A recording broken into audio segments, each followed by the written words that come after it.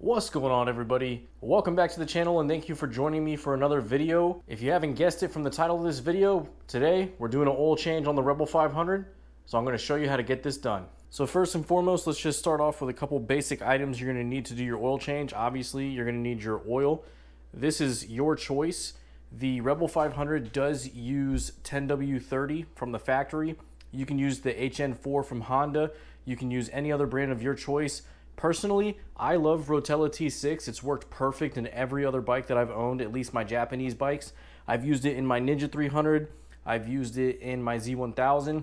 It's really good stuff. I'm running 15W40, and the reason that I've chose to run 15W40 versus 10W30 is because I live in a warm climate here in Southern California. So our warm months are upon us and we're gonna have really extreme hot weather here very soon, especially in the inland area where I live at it can get upwards of 100 degrees here in, in the next couple of months. The other thing you're going to need, obviously, is a new oil filter. I am using the HiFlo Filtro HF204RC. Now, the RC stands for the fact that it comes with that nut on the top of it. This is essentially the same thing as buying the race filter from K&N. It's just made by this company.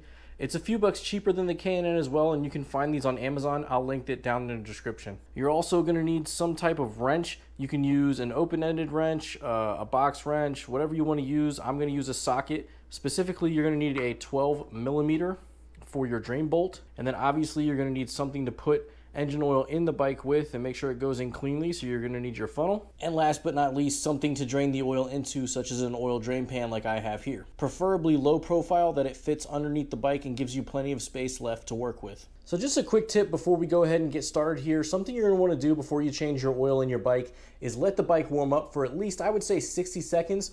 If you've recently ridden the bike, probably let it cool off for about 15 or 20 minutes you want the oil to be warm, but not so hot that it's gonna burn you on its way out because your hand is gonna be down there by the drain bolt and you don't wanna get burned by the exhaust either. You're gonna see that this bolt is fairly close to the exhaust. So you don't wanna get burned, safety first. The other thing, before you start draining the oil, go ahead and take your filler plug out. This will allow the oil to drain out of the engine a little bit faster. That way air can come in as oil comes out. All right, so here we are underneath the bike. I'm laying on the left-hand side of the bike. The front wheel is up that way and the rear wheel is back towards the camera here. This piece right here, this bolt, that is your drain bolt. This is the one you're gonna remove to get the engine oil out. So now that our bike is warmed up, we're ready to go. I'm gonna take my 12 millimeter wrench here and we're gonna go ahead and break the seal. There we go. So hopefully it doesn't take too much force to get this off. If it does take a lot of force, it's probably been over tightened, but it should come off fairly uh, easily. You might have a little bit of torque, a little bit of slip, but that's okay. As long as you don't strip the bolt, you're good to go. All right, so let's go ahead and just spin this the rest of the way off. Now this is gonna have an aluminum washer on it as well, so make sure that as you're unscrewing this, you can feel the washer. I'm not sure if you guys can see it behind here, but you want that to come with the bolt. Make sure you keep a good grip on the bolt. You don't want to drop it in your oil drain pan on accident. So there we go. Our engine oil is coming out. It actually looks fairly clean. It's a fairly light brown color still. It's not quite black. Now, I've only owned this bike for about 1,500, 1,600 miles now, I believe. The oil change was done uh, just before I bought the bike, I believe in April of this year, or it could have been March. I'm not 100% sure, but I wanted to go ahead and do this myself and get an engine oil in there that I know and I trust. So I'm going to go ahead and just change the oil early and the oil looks fairly good, so I'm pretty happy with that. So go ahead and just let this sit here and drain until it comes to like an occasional drip. However long that takes, just let it sit. You want as much of this old oil out of here as possible. So just let this sit for, you know, 20, 30 minutes, come out and check it. If it's down to just an occasional little drip, you can go ahead and replace your drain bolt. And just to go over this really quick, you can see the aluminum washer right here. You can reuse these at least once, and in order to do that, what I like to do is I take it off and I flip it around. So that way the crush point is now fresh. So we're using the fresh sided surface as our crush point to seal up against our drain pan. All right, so our oil came to a slow drip. I'm pretty happy with that. I went ahead and reinserted the drain bolt here. I'm just gonna tighten it uh, finger tight for now. And then we're gonna use a torque wrench to go ahead and snug it up. Now the torque setting for this is 22 foot-pounds according to the manual. If you do not have a torque wrench, um, just go ahead and get it nice and snug and tight and maybe do about an eighth to a quarter turn you can kind of feel when the crush washer seats. Don't go any harder than that. Don't go, you know, wild on this thing. It's an aluminum uh, drain plug, and I believe that's an aluminum pan. So you do not want to strip this thing out or else you're going to have a nightmare ahead of you. So let me go ahead and torque this up. See, just a little bit, not much. All right, so we're good to go on our drain plug. Now we can move on to our oil filter. All right, so now here we are at the front end of the motor here.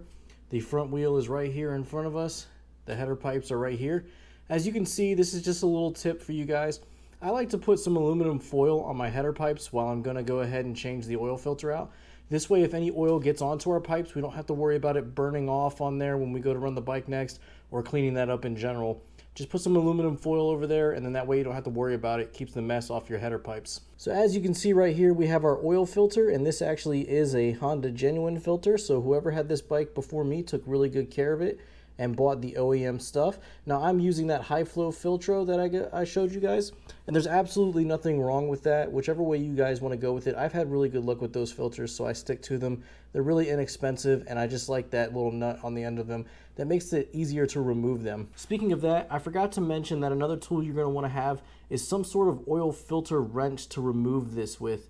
Now I've got this normal clamping style one here that I use on my uh, car and so that's going to be perfect for me to remove this filter. You can also get these ones that fit right over the top and connect to a uh, socket wrench and you can you know turn them off really easily. Or the reason like I said I buy those HiFlo Filtro ones is they have the nut already on the end of them. So that way all I have to do is grab a 17 millimeter wrench and just turn it off nice and easy. It also gives me a little bit better force if I want to put you know, the proper torque spec on here because there's a torque spec for this, believe it or not. It's 19 foot-pounds. Now, I usually don't follow that, but if you wanted to, having that nut on the end helps a ton. All right, so enough talking. Let's go ahead and get this off of here. These can usually be a little bit of a pain to get off, but if somebody's done the oil change right before, it should be pretty easy. You actually should be able to do this by hand, theoretically, but sometimes they're a little bit tight. So having these oil filter wrenches helps a lot. So I'm gonna, just gonna turn that till oil starts to come out. I'm gonna let this go ahead and slow down to a drip. That way, when I pull the oil filter off, it's not just this huge slosh of oil that comes shooting out from this oil filter here. All right, so now that that has stopped dripping, I'll go ahead and spin it the rest of the way off. And just be prepared that there's still gonna be some oil in this filter. So whenever you take this off, there you go.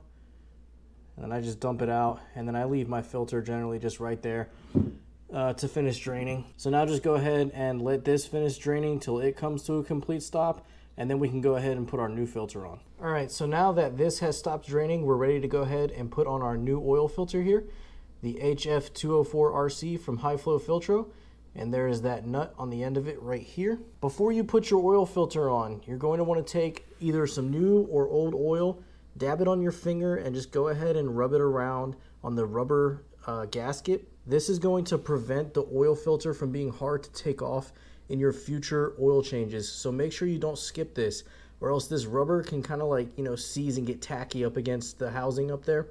This prevents that and makes it easy to put on and it also creates a better seal. Also, I went ahead and I wiped off the mating surface with a clean shop rag so that way there's nothing that gets in the way of the mating surface between this gasket and the housing. So at this point, you'll feel the rubber begin to mate with the housing up there.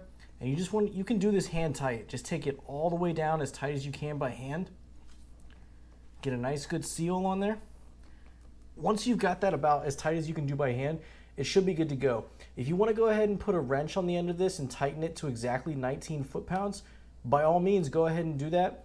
At this point though, it should be good just hand tight. You don't need a whole lot of torque on this. You don't want to crush that rubber and cause a leak. Don't forget to go ahead and just remove your aluminum foil at this point. We don't need it anymore. And we actually got that off of there without getting this wet at all. All right, so now that we have put our drain plug back in and we've done our oil filter, all of the old oils out of the bike at this point, we're ready to go ahead and fill up the bike with fresh engine oil. Like I said, I'm using this Rotella T6 here. I'm not here to argue about oil and this and that with everybody else, but bear in mind that the only reason that I'm using this oil is specifically because if you read the back here, if you look right here where it says JASO, MA, and MA2, what that essentially means is that this oil is safe for wet clutch motorcycles. So any wet clutch operation, this oil is not going to damage your clutches. You can't normally use any like regular engine oil for your motorcycle. You need to use motorcycle specific oils because the additional detergents in regular engine oil will damage your clutch. It'll make it slip and it won't operate properly.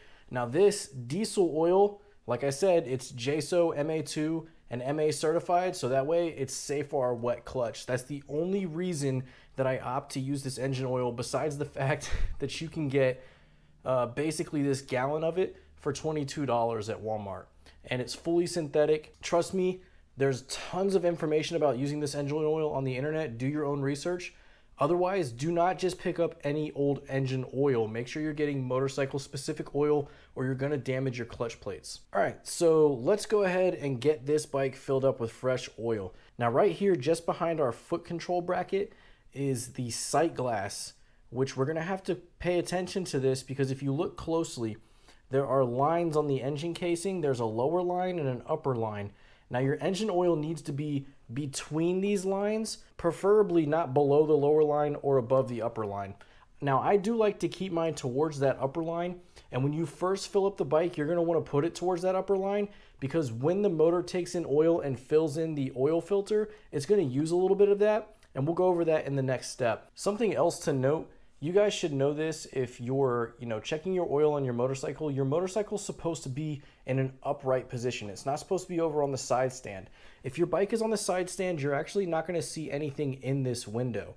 The bike has to be sitting upright. If you don't have a paddock stand to put your bike on while you're filling it up, go grab like your wife or a buddy or somebody, or you could try to sit on it yourself and pour the engine oil in and somehow try to keep an eye on this. But it needs to be in an upright position to know that your engine oil is at the proper level. So that's why I've gone ahead and put it on the paddock stand. So that way I can just pour in the engine oil and I can watch this window and know exactly where I need to stop. Something else to note really quick is that the manual actually says if you're changing the oil filter and the engine oil together, this bike should take approximately 2.9 quarts of oil. Now I've gone ahead and just put the camera here so you guys can see for yourself what it's going to look like as engine oil reaches that point. I don't know how well the camera is picking it up, but I can see my engine oil level now. And we are heading towards that top line. I'm gonna go ahead and add just a little bit more to put it right at that top line before we start the bike up. So there we go. It's probably really hard to see, but I've got the engine oil right at the very top of that line right there. So at this point, we need to go ahead and put our filler plug back on, start the motorcycle up, let it warm up a little bit, maybe two, three minutes, then we're to shut it off, let it sit for a minute or two, and then you're to check this level again while the bike is sitting upright and see if it's in between these two lines. All right, let's go ahead and get her fired up for the first time with her fresh oil. I'm to go ahead and I'm to reset my B trip meter as well because this is what I use to keep track of my oil changes. Trip A is for, uh, you know, my gas to keep track of how much mileage I'm getting.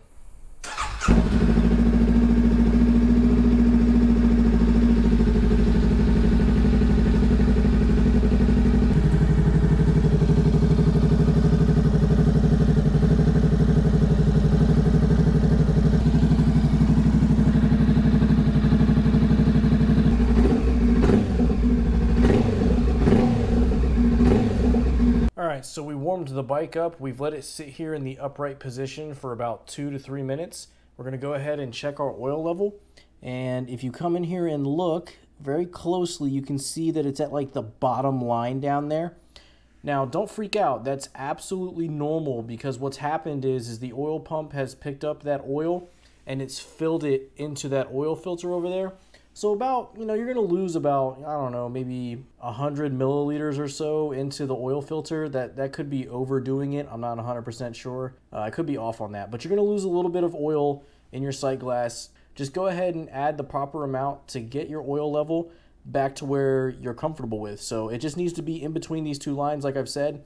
I like to keep mine towards the upper line. So I'm going to go ahead and fill this back to that upper line. And then our oil change is completely done. All right, guys, so there you have it. The oil change is complete on the Rebel 500. We're good to go.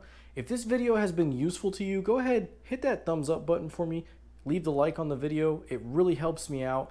It lets the algorithm know that I'm doing something that people enjoy and that they like and is useful. So if you found this useful or you like my content, leave a like on all the videos. I really appreciate it, guys. I appreciate all my new subscribers as well. I'm really, really, really happy with the way this channel is going and growing. If you haven't hit that subscribe button yet, please consider doing that for me. And as always, I will see you guys in the next video.